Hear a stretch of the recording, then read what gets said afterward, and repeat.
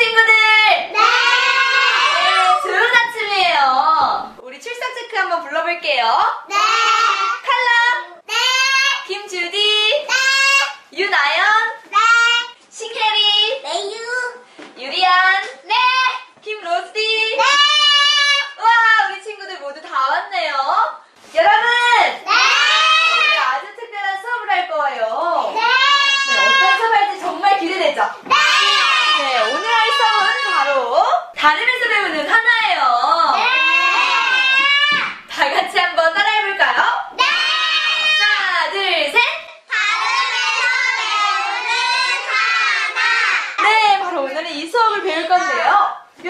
혹시 귀여운 동물 좋아해요? 네.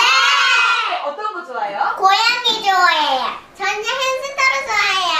늑대 좋아해요. 로시? 뭐 좋아해요? 아, 토끼야. 오, 토끼요. 오늘 선생님이 몇 마리의 동물 사진을 보여줄 거예요. 네. 선생님이 화면에 동물 사진을 보여주면 그 동물 소리를 내면 되는 거예요.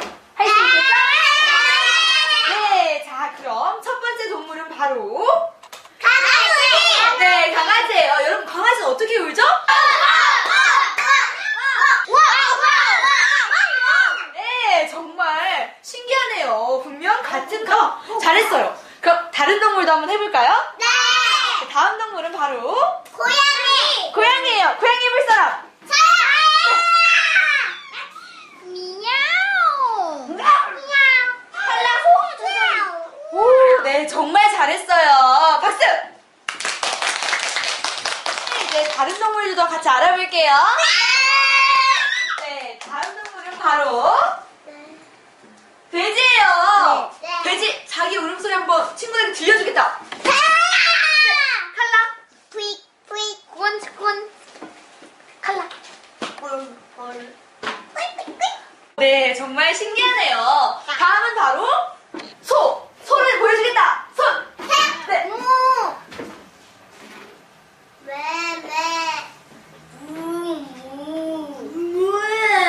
마. 어, 어, 인도에서는 소가 힘성해서 말을 못해요.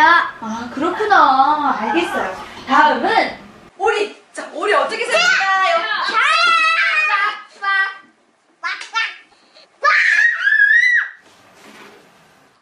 와, 와. 와, 친구들 정말 잘했어요. 선생님, 오늘 너무 신기해요. 네, 친구 정말 신기하죠?